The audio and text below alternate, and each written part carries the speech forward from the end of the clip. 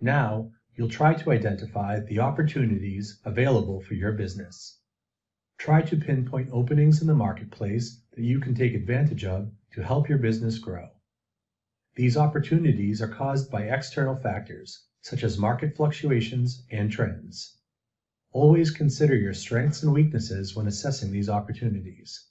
Not every opportunity is right for your company at the moment, but it may be not too far down the line.